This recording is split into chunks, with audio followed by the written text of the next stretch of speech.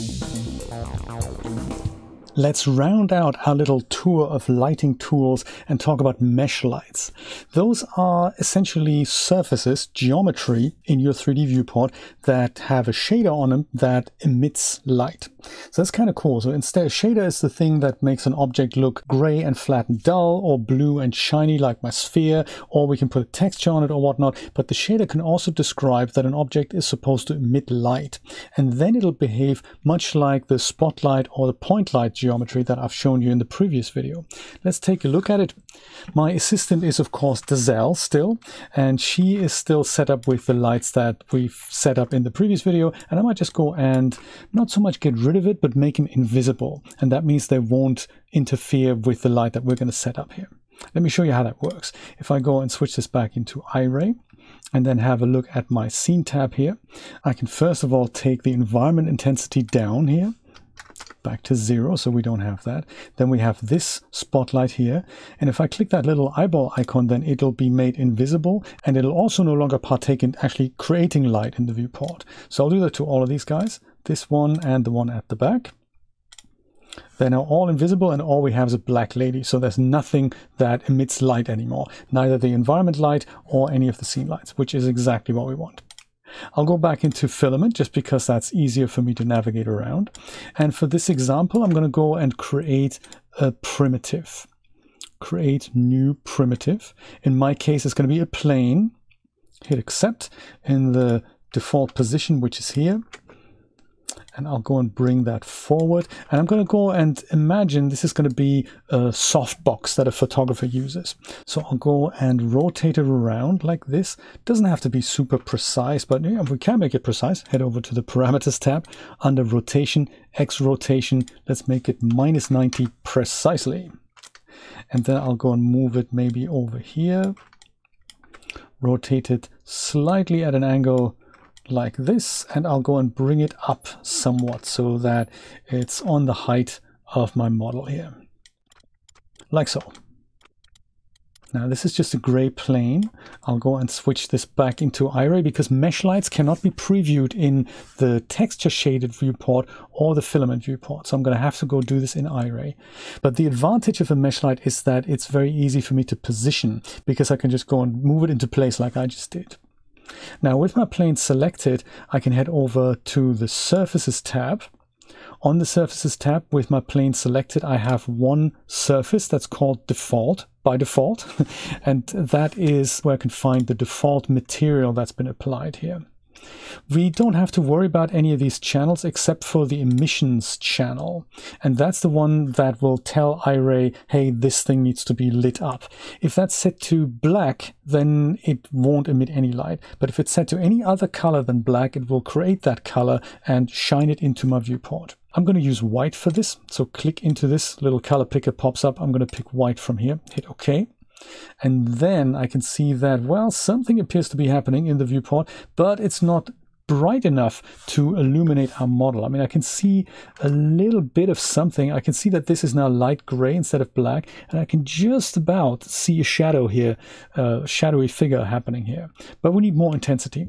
And the values are very similar to those that we've seen on the parameters tab with the lights, yet they are different. So here at the bottom we have the luminance and we also have a luminance unit which is candles per square meters.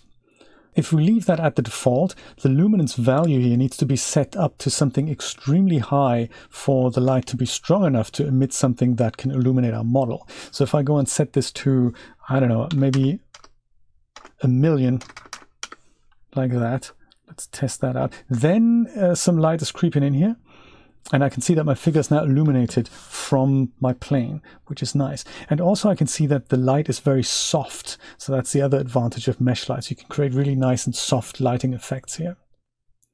And that's really all there's to it. You can change the light color. So if I wanted to make that something, I don't know, something orange, I can pick that. And then this is going to emit something orange, which is neat.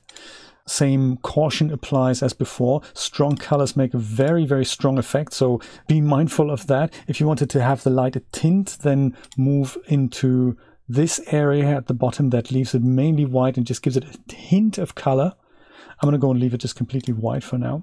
You also have the emission color temperature up here that we discussed before. Once again, with white light, the same applies as before. If I set this to 4000, then the whole color temperature is going to be dimmed down so things appear a little bit orange. Or if you go the other way, past 6500 to something like 8000, then that gets into the cooler area, into the cooler tone you also have the two-sided light, so that's on by default. That means the light will be emitted along the surface normals as well as the other side. If you switch that off, then the other side of the emissive surface does not emit light, so that's now black, whereas this one is white. That's the normals here, and this one is the other side of that. I personally don't use the default value of candles per square meters. I set this to watts because that is something that I understand more easily. And then I have a smaller number to adjust here. So that makes my life a little bit less cumbersome. So if we go and switch this to the default of 1500 here, and then I can just go and adjust the wattage, then I don't need to have quite that many zeros. That just makes my life easier. So I'm thinking the default is 15. If I set this to 100, then I already see that a little bit of light's coming out. If I don't, if I want wanted to have that uh, a bit stronger, I'll just make it 500. And, you know, that gets me into the correct realm there. So if I wanted something like a really soft fashion light, I would go and set this up like so, and then go and maybe copy my plane to the other side. So edit duplicate and then I have that other plane. And as I said it I find it easier to adjust these things into position in the filament viewport. But the trouble is that of course filament doesn't support these mesh lights but it's easier for me to adjust these things like so. I don't have to make them quite that large. I can make them thinner strips. And then if I do this switch back to Iray then I'll see that I have a really soft fashion light that accentuates the clothing. Well maybe it's a little bit bright here. So let's let's tone that down. Values are also duplicated. So maybe this probably 200 is enough. And then on the other softbox we can go and correct that as well on the emission shader. So that's really all there's to know about mesh lights. You create a primitive, you select the surface of any object that is in your scene, could be a primitive, could be something like a scene element that's already pre-built, could be custom geometry. Then you head over to the emissions channel and set that to color anything other than black and that will go and create your effect. So if you wanted to create a portrait like that, we have these beautiful catch lights here which look exactly like, you know, the front cover of Vogue now. And it's really, really easy. And you didn't have to buy another product. All you had to do is create a primitive and then slap a value on this. That's kind of nice. Oh, there is one thing that is often a problem with mesh lights, and that is what happens if you want to make them invisible, like on the parametric lights that we had on the scene lights, we had that little tick box that just said, would you like for the emitter to be rendered or not? And if you set that to no, then the emitter is invisible, but the light itself is still here. If you use mesh lights like these, they're also sometimes known as ghost lights because they're kind of not really in the scene type thing we can make it happen, but it's a little bit weird and cumbersome, and it's just something to be aware of. Let me show you how it works. So classic example is if I zoom out here, or I dolly out, and I see this big light that is now occluding half my figure, so I can't really have that happen. So that's plane number two. I'll go and select it, and it's not actually on the emission tab, it is on the geometry tab. So remember, this is geometry now, and I can go and use this to use the cutout opacity value and set that to anything other than one. Much like we learned before, one means this thing is completely opaque, zero means it's completely transparent or invisible. And notice what happens if I do make it invisible, I don't get to see the effect of that light anymore. So that's a bit of a problem if I turn it to zero, it's completely not there. But if I set it to something like 0.00001, I think it's five zeros, or even six zeros, then a tiny bit of this, yeah, it's actually, you can, you can go one more zero there if you wanted to. I'll, I'll leave it like this, but you can just go and, you know, move that zero around. So zero and then do that. That's as invisible as possible. So it's still visible, but it's invisible enough that the camera isn't going to pick it up anymore. Tragically, however, the light value is also going to be severely reduced. So you're going to have to compensate for that. And that's back on the emissions tab.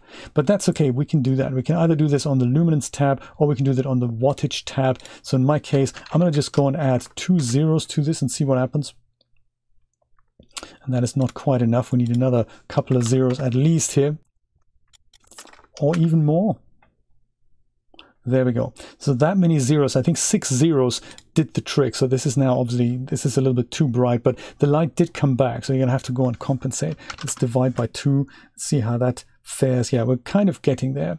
So the good thing is that you can now use this in conjunction with the luminance slider. So if you wanted to retain something of an easily adjustable value that doesn't have that quite that many zeros, and you say 500 is my target value here, then you can just go and increase this number to something much higher so that 500 makes sense in this dimmed down muted state. So let's try five additional zeros here.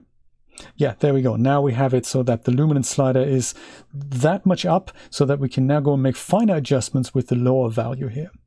And that's how you can compensate for that. So that's a little downside of the mesh lights, that and that they don't appear in filament. That's also a bit of a problem. Uh, but other than that, they can be helpful if you wanted to illuminate kind of flood fill things, either from the ceiling, emulate these little light squares that you can see in office buildings, or if you wanted to emulate fashion lighting, that's what ghost lights are good for. And they're really nice to either brighten up a room or give these really soft lights that are usually emitted by a softbox.